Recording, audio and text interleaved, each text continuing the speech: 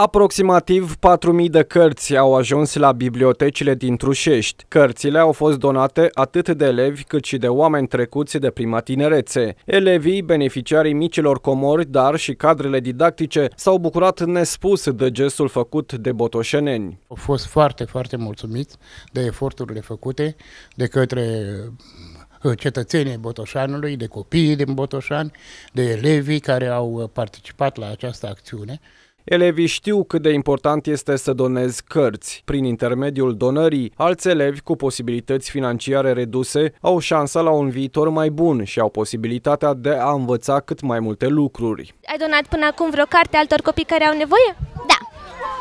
Și um, crezi că e bine să donăm cărțile pe care nu le mai folosim și altora? Da.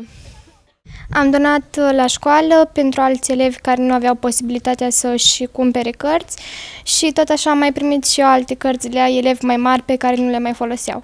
Tu ai îndemnat și alți elevi de seama ta să uh, doneze cărțile pe care le au sau pe care nu le mai folosesc? Da, ar fi un lucru foarte bun pentru toți. Ai vrea să donezi? Da. De ce? Pentru că ca să ajută copiii care vor să citească.